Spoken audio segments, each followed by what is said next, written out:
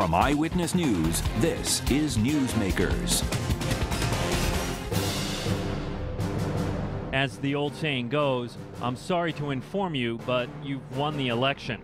Running the economically depressed city of Providence is no easy task, but Eastside Democrat Brett Smiley wants the job. We will grow our economy by focusing on our strengths higher ed and hospitals, design, arts, and culture, a working waterfront. A self described progressive, the 34 year old is joining a packed ballot in the race for CEO of the capital city. Our guest on the first half of Newsmakers candidate for the mayor of Providence, Brett Smiley. Then. Rhode Island's version of the Gray Lady is up for sale. Like most newspapers, it's been a tough decade for the Providence Journal. With shrinking circulation and declining ad sales, the Texas based company that owns the paper is looking to cut its losses. This week, on the second half of Newsmakers, a media roundtable explores the future of this storied institution on Fountain Street.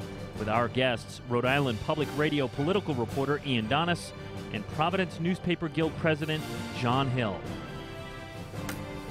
Welcome to Newsmakers. I'm Tim White. Joining me on the panel, WPRI.com reporter Ted Nesi and the aforementioned Ian Donnis from Rhode Island Public Radio. Good morning, everyone. Brett, welcome to the program. Good morning. Thank you. Why do you want to be mayor of Providence? Providence is a great city. I wouldn't want to live anywhere else. And there's no better place to make a difference on the city and the quality of life of my neighbors than in the mayor's job. My experience running a business, working for the last two mayors, uh, and being active in progressive causes throughout my career well positions me to be effective from the beginning. In your speech, in your announcement speech, uh, you said you still have to, quote, know a guy to get things done in the city. Uh, you're a former city lobbyist, water supply board chairman, fundraiser for Angel Taveras, fundraiser for David Cicilline. Brett, aren't you the guy? to some extent, yes, and that's the problem. You know, it, happens regularly that I get a call from a business owner not two weeks ago, I got a call from someone who's trying to open a new church in an abandoned and foreclosed building, and because they can't go through the regular process at City Hall to finalize the process, so they call me or they call other friends that they know know someone to get the process unstuck. And these aren't special deals; these aren't special favors. This is a, a reputable uh, business in Olneyville trying to expand, or a church trying to open its doors on Douglas Avenue, and no one should have to know someone in order to get that done. Anybody whether they know me or anyone else should be able to get that done so that they can grow or expand a business in the capital city. Brett, what letter grade would you give to Angel Taveras, who you are supporting as a candidate for governor, and are for, for his performance as mayor? And are there any significant ways in which you would be significantly different as mayor if elected? I think he, he deserves at least to be. He's done a, a very good job in bringing the city back from the brink of bankruptcy. Uh, and I think that my biggest criticism and concern about Angel is that he's not running for reelection. I think we need a mayor who wants to be mayor. We need someone with a long-term commitment to the city. Uh, change comes slowly sometimes in municipal government, and we need someone who's totally committed to serving a full eight-year term, and that's my commitment. You've touted your management experience as a former chairman of the Providence Water Supply Board, but when you were chairing that board, it applied for rate increases of more than 20 and 30 percent for different rate ratepayers. The board uh, provides water for more than for 60 percent of the state. So, how do you justify those? Those kind of rate increases? Sure. Well, so first of all, there were actually no rate increases for the last four years, and we were able to keep rates flat. Uh, because of good management. We went through management restructuring that saved millions and enabled us to continue to provide water, uh, high quality, affordable water without an increase. The latest application for a rate increase was to properly fund and maintain our infrastructure. How many times in Rhode Island do we see us choosing to pay full boat to replace a bridge as opposed to properly maintain it. And uh, the latest application is so that we can properly maintain our infrastructure, which is hugely important and going to save money in the long run. Um, it's no secret that Providence, even the mayor, when he was on here talking about his run for governor, is, he says, improving, but it's certainly not recovered altogether. Do you think it's still possible Providence could be forced to file for bankruptcy in the coming years? I think the mayor has bought us some time, a window of opportunity for us to grow our economy, to meet the challenges. If, if we muddle along or accept status quo, I do think it's possible that five years from now, we could be back talking about bankruptcy. And but that's why I'm running because I don't accept that. I think that we need to hit the ground running. I think we need a period of sustained execution. We need to do some big things to grow our economy to meet those obligations. He's bought us that window of time, but the, the budget is not fundamentally fixed. Uh, we are not out of the woods, but we have some breathing room to do some big things. We saw this week in Detroit, uh, they are in bankruptcy. Their pension uh, promises are now in doubt. Um, and we know that in Providence, the pension fund has about $283 million in assets and about still over $700 million shortfall, even with the deal the mayor struck. Do you think he got enough savings from that deal uh, since it's going to be hard for any new mayor to go back and ask for further concessions on the pensions? I think you're right in that we can't go back and ask for more concessions anytime soon. I think the solution has got to come from economic growth first to see what resources we can bring to the table to help fulfill the obligations that we've made to those who have worked on behalf of the city. Let's talk a little bit about the, the economic growth that you've proposed. I heard you say, I think, uh, use this analogy that Providence is to Boston as Brooklyn is to Manhattan, right? Yes. Okay. Uh, of course, Brooklyn is a borough that's actually part of New York City, but beside that, give me an example of how you would piggyback off Boston's economy. So we have uh, a thriving design industry here. We've got a burgeoning medical device technology sector. We've got a, a, new movement for medical food. We've got some really great opportunities. And you've got Cambridge that is hugely expensive. Uh, the space is all full. There's no commercial space available. There's no lab space available. We need to be the affordable alternative to Boston. We need to have a seat at the table in Boston in terms of regional planning, in terms of economic How development. How do you make Providence more affordable than than Boston. I mean, we have some and, of the highest tax rates in, in the country. Right. So, so in many cases, Providence already is more affordable. The tax, the commercial tax rate, indeed, is higher. You know, but what's most important for, for businesses is the bottom line. And so, whereas our commercial tax rate might be higher, there's other things that are less expensive here, and the quality of life here far surpasses that in the Boston area. And so, for existing businesses, we need to continue to improve and and be mindful of that quality of life because that's what sets us apart. And to attract new businesses, I think we can craft packages, tax deals or otherwise, that can help make it work. And, uh, and it's the bottom line, it's the total package that matters in terms of competitiveness. Well, speaking in terms of tax deals, you told us during your announcement that you would be open to the use of tax credits for the now vacant Superman building. Uh, that project seems to be in limbo right now. What do you know that Angel Taveras doesn't know that would help to put that back to a productive use? And would you be willing to grant the more than $15 million in tax incentives sought by the developer?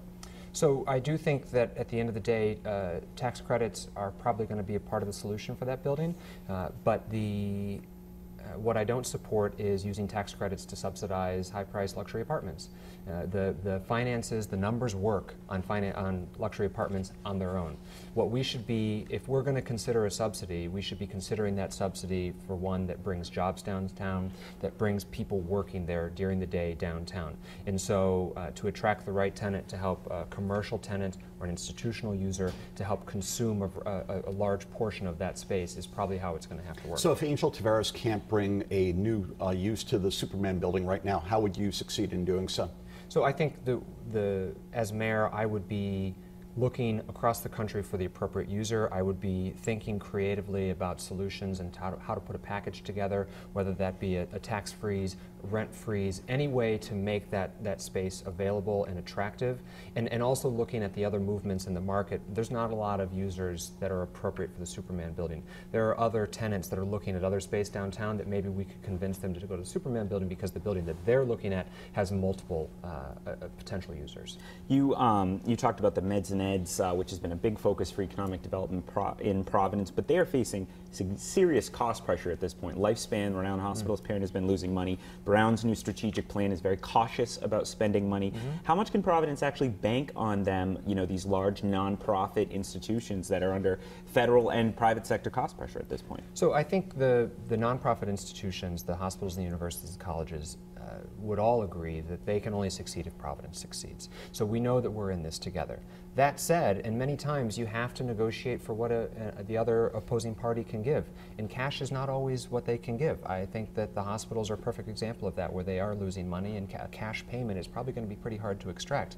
As mayor, I would be negotiating for goods and services, for ways for which them, they can participate in our economy and in our city to strengthen it that might not be a check goods and services, though, that is money for them, isn't it? So what do you mean? Yes that, and no. What would be so, a goods and service so that wouldn't example, cost them anything? Uh, the, traditionally, one of the, the toughest negotiations with the universities or colleges has been Providence College.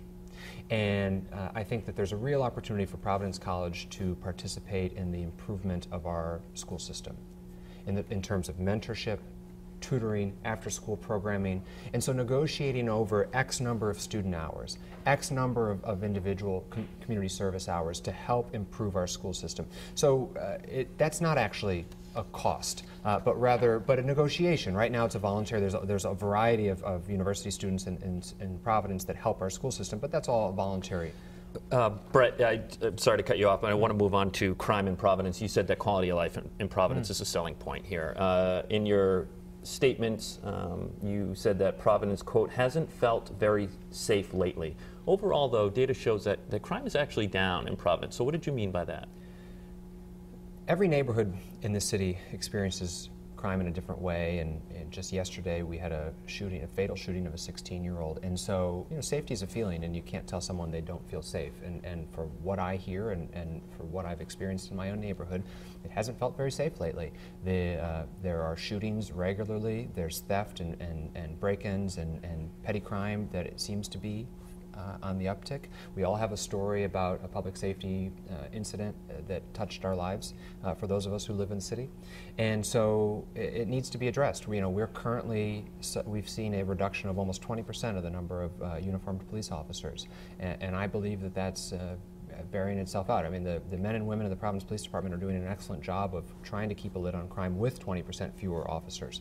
Uh, but at the same note, you know, the, the health and safety of our, of our neighborhoods and the quality of life here is directly related to You would want to increase the ranks of the Providence Police Department? Uh, more police officers is not the only solution, but there's no substitute for another uh, police officer on walking a beat. What about uh, Public Safety Commissioner Stephen Perry and Police Colonel Hugh Clements? Would you keep them? You know, I haven't made uh, I, am not going to make a commitment on any individual personality, uh, and so uh, and that's citywide. It, they might hear that and say, "Boy, that's not a, a, ringing endorsement to the work I've done." Do you think they're doing a good job? I do think they're doing a good job, uh, but I don't think it's prudent for anyone to uh, to make commitments on uh, one person over another on any job and any department. Brett, you tout your progressive credentials. So, do you support the labor boycott of the Renaissance Hotel? Uh, I, that's a between a private employer and a, and a, a, private union, I will say that if anyone needs the protection of a union, it's a, uh, a housekeeper in a hotel making $7 an hour. And so uh, I hope that they can find a resolution that involves those workers being organized. I hope that their standard of living can, can be in, uh, improved. Is that a yes or no in terms of whether you support the boycott? Well, I wouldn't stay there. Um, Brett, you, suppo- you proposed a, a, I hope I have this right, a surtax on guns and ammunition. Um, first of all, that, that Providence couldn't pass that itself, right? You'd have to lobby the General Assembly to pass such a That's thing. That's right. and um, you know, people are going to wonder and say, "Well, you're running for a job where you can't actually do that. Is that just pandering to, to the progressive vote in the in this when it's something that you can't actually do?" We saw this year. The Assembly doesn't seem to have much appetite for any major gun cha- law mm-hmm. changes at all. So I, I think the the guns and ammunitions tax is an important piece of a comprehensive public safety plan uh, a public safety plan that involves more police officers, that involves investment in community organizations, and, and, I see that investment coming from a guns and ammunitions tax, and an improving economy with, uh, with additional economic opportunities uh, for everyone. And so I, I, do think that it's an important piece of the puzzle, but I don't want it to be mistaken to be the only solution to a public safety challenge. That said, just like we expect the tobacco industry to pay for public health initiatives, I do think that the firearms industry and those who prop it up should be paying for anti-violence efforts. Uh, guns legally purchased fall into the, the, wrong hands. Because of a provision in Rhode Island law, you can uh, own a gun illegally, but you can buy ammunition legally.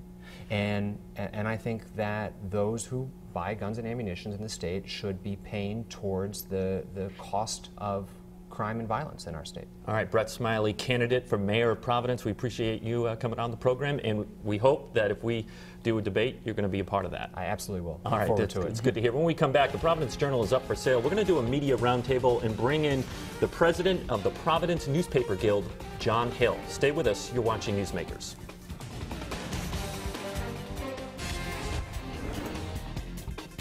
Welcome back to Newsmakers. I'm Tim White. To my right, Ted Nesi from WPRI.com and Ian Donnis from Rhode Island Public Radio. Our guest on the second half of this media roundtable, talking about the Providence Journal, is the president of the Providence Newspaper Guild, John Hill, who's also a reporter, a longtime reporter at the Journal. Uh, I do want to mention that we did invite management on from the Providence Journal who uh, they are a news partner of Eyewitness News, and they uh, declined to come on the show.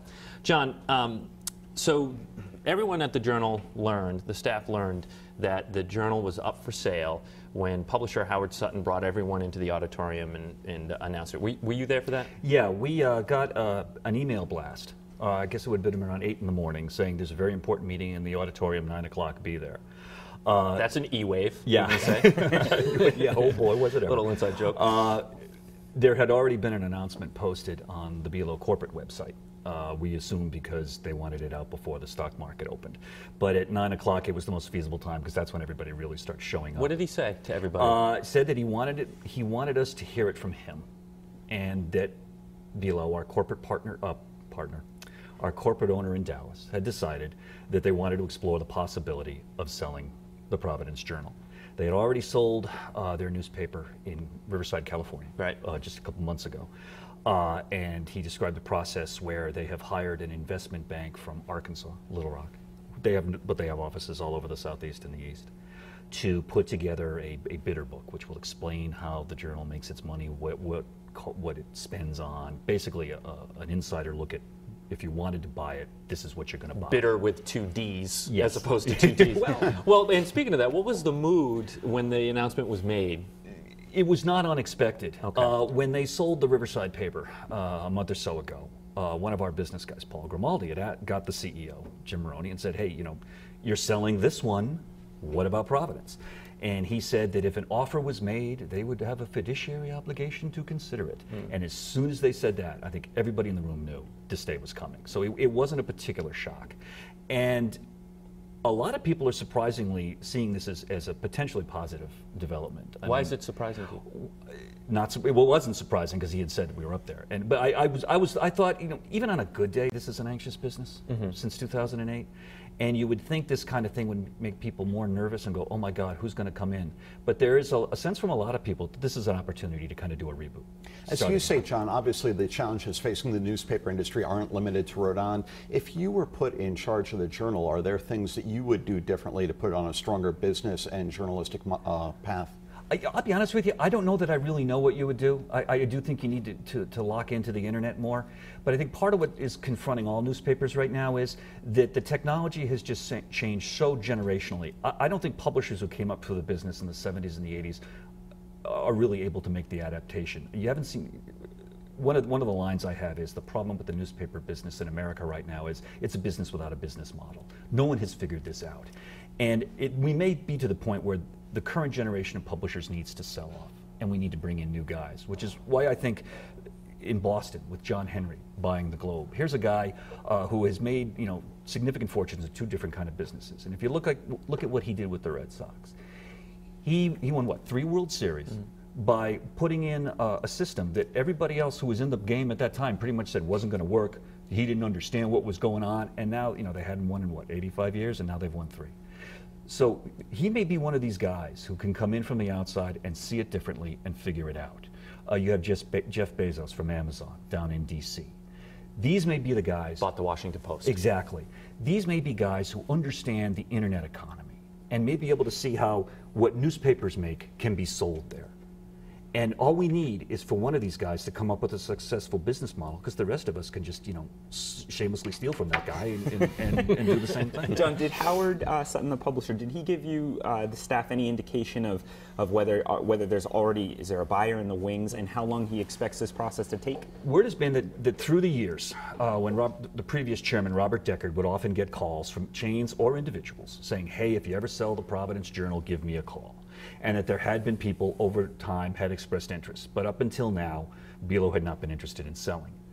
Uh, so I think they'll be interested. I think the way they're doing it indicates they're confident there's interest. They're basically opening up the auction and they're saying, folks, come in and bid. And I don't think you do that unless you think there are people there who will bid against it and maybe even you know run the price. All right. I want to turn to the panel here because we have two guys who have reported on the Providence Journal extensively. And Ted, you know, how attractive of a sale would would the Journal be? In other words, give us a. Um, a thumbnail of the financial situation at the Journal. Well, the X factor is having John Hill. I think that's worth many millions. of course. Um, but you know, uh, Many more millions if I leave. Yeah, right, exactly.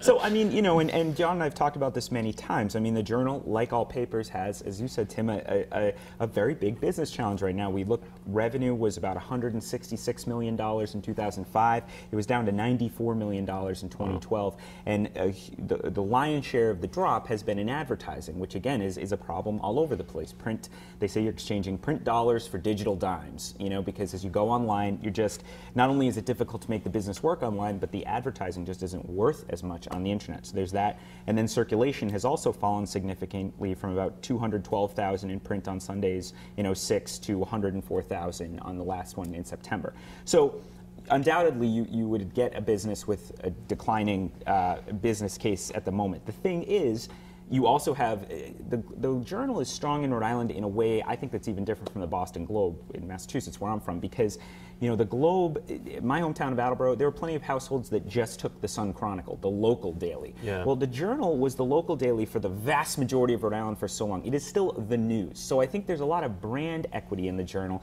The question is, eh, do you get a buyer who's very focused on uh, keeping the Journal profitable, and does that just mean managing this decline in revenue over time and, and keeping a certain return investment, or do you have someone who says, there's brand equity here, I'm a public-spirited owner, and I want to, to get a good, I want to make sure this is, remains a civic institution So briefly, the experts that you're talking to, what, what are they saying the price tag it's worth is? So I've heard anywhere from in the 20 million, uh, 25 million dollar range up to as much as 50 million and dollars. remind everybody what AH Belo bought it for. 1.5 billion dollars, but that was the Providence Journal company, which had nine television stations too. So you had a you had a significantly larger enterprise being bought then. But again, I think. You know, I think it's very, very hard to evaluate a newspaper's future income stream right now for any newspaper, not just the journal. And that's going to be the question people will be looking at in that book that they're going to put together: is, is what are we really looking at here, and, and can this be can this be fixed? Ian, you've written a lot about the journal. What do you think A.H. Belo's legacy is going to be? Well, the uh, Belo suffered from bad timing. It bought the Journal in the mid to late 90s when newspapers still had very healthy profit merge margins. Like many other publishers, it ran into the emergence of the internet as the uh, dominant media paradigm for the time. And since then, the, the Belo has not invested in the Journal. As a matter of fact, it's more been the opposite, that there's been a steady bleeding of resources from the Journal over that time. Bureaus have been closed. There have been serial rounds of buyouts and layoffs. The reporter intern program that once introduced a steady infusion of young reporters into the Journal was eliminated in 1996. So Belo has presided during a time of diminished resources. As John said, no one has a perfect answer. Whether any other publisher or owner might have done a better job, it's hard to say. But Belo's held the reins at a time of uh, a very tough time for Was that intern program eliminated in 96 or 2006? Excuse me, I misspoke. 2006. And Thank you. So I have a question to, to you, uh, John, about uh, you know we say you're the president of the guild, so people understand that's a union that that represents the workers at the Providence Journal. Um, how flexible is the guild when it comes to change? Uh, you often hear when there are those layoffs that Ian talked about that union rules mean you have to start with the less senior people and, and kind of work your way up. Um, it, it- no matter what the merits of it are, how good or how hu- hungry they are. Um, is that the case? Is that how it works? I don't think so. Um, you know, there are certain bedrock principles that a union is going to defend, and seniority is going to be one of them. Uh, and as this process unfolds, at this point, we really have no formal or even informal role in it. What's, what's going to happen is going to happen. Uh, the only way we can inject ourselves into it is if somebody who is, is a player decides to say, hey, let's talk. And, and so one of the reasons why I'm here on a forum like this is I, Yeah. we can jump up and down on the corner and go, hey, hey call me, call me. but, um, you know, we are interested in the paper thriving long term. I mean, publishers will come and go. We are still there. If someone wants to buy the Providence Journal, what they really want to buy are the services of the people who are members of the Providence Newspaper Guild. We are the people who sell the ads that generate the revenue that makes the whole thing possible. We are the people who take the story, take the pictures and the videos. We write, we write and edit the stories. Everything in that paper that makes you want to buy that paper, we do. And if someone wants to buy it, we're what they want. And if someone is interested in making that thing work, and, and you know, we want to work for somebody who wants to make money, because if, if the company doesn't make money, we aren't going to get raises. I mean, we have mortgages and rent to pay. We have families to feed. We want this place to succeed. And if someone wants to sit down with us and, and talk to us about how to do that, man, we'll talk to anybody who's interested in talking And John, your contract I know right now is almost up at the Guild Yes. uh, to, to be renegotiated. Do you Yeah. expect to hold off on that until a new owner is in place? It's kind of early. We've, we've just started bargaining, um, and we kind of, you know, this has just happened this week. Um, so this is like the beginning of the beginning, uh, and that's something we kind of need to uh, chew on a little before. You know, we have 30 seconds left. I'll ask this one question. Anyone can field it. What does the journal look like in five years? Uh, I think if the economy picks up, you could conceivably have more. You'll have more people on on the on the ground. I think you know what Ian was talking about. If you can get some more bodies in there, I think this paper is going to be positioned that when the economy comes back, it will take off. It is. It is. If you want to know about Rhode Island, there is nowhere else you can go. If you want to know about what's going on in this state, I don't care. You know. What we were in two- 1996 or whatever. If you want to know what's going on in Rhode Island and you're not reading it, you don't know what's going on. You could And also turn on Channel can say. 12, just for the record. yeah. John Hill, Ian Donnis, yeah. Ted Nesi, thank you very much for joining No us on the program. If you missed any of it, it's online, WPRI.com. We'll see you next week on Newsmakers.